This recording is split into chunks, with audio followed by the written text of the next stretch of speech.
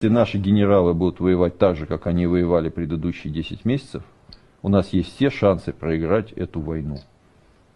Если вы еще рассчитываете отсидеться, если не на озере Кома, где у вас конфисковали или типа арестовали пару ваших вил, я не помню, две там у вас или три, а в Израиле, то мне отсидеться, конечно, не придется. Но я бы, конечно, сделал все, чтобы вы тоже не успели туда удрать если бы у меня была возможность. Это единственное, что вы добились своим сегодняшним выступлением. С чем я вас и поздравляю.